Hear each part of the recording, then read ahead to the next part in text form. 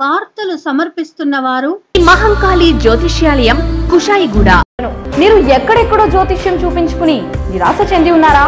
అయితే ఒక్కసారి కలిసి మీ సమస్యలకు నూరు శాతం పరిష్కారం పొందండి. మెదక్ జిల్లా టేక్మాల్లో వైఎస్ఆర్ తెలంగాణ పార్టీ విద్యార్థి విభాగం రాష్ట్ర అధ్యక్షులు టి నరేష్ ప్రశ్నించారు.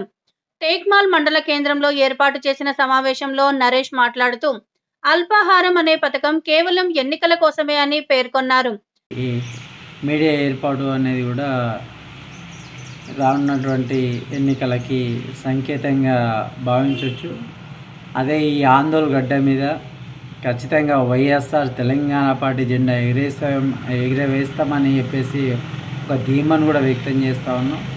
అందులో భాగంగానే ఇక్కడ ఒక మీడియా సమావేశాన్ని కూడా పెడతా ఉన్నాం.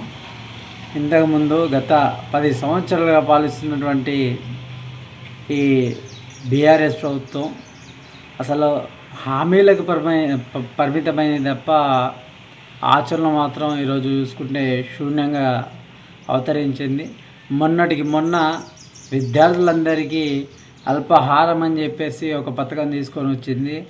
కానీ ఈ జిల్లాలో లేదు రాష్ట్ర వ్యాప్తంగా చూసుకున్నటువంటి చూసుకున్నట్టు చూసుకున్నట్లయితే రాష్ట్ర వ్యాప్తంగా శిథిల వ్యవస్థకి చెందినటువంటి భవనాలను మాత్రం ఈరోజు పూర్తి స్థాయిలో ఈరోజు మరమ్మతులు చేయించడం మాత్రం పూర్తిగా విఫలమైంది. ఈరోజు కేవలం ఇది అల్పాహారం అనేది కేవలం ఎన్నికల కోసమే అని చెప్పేసి ఈరోజు వైఎస్ఆర్ తెలంగాణ పార్టీ విద్యార్థి భావిస్తూ ఉంది.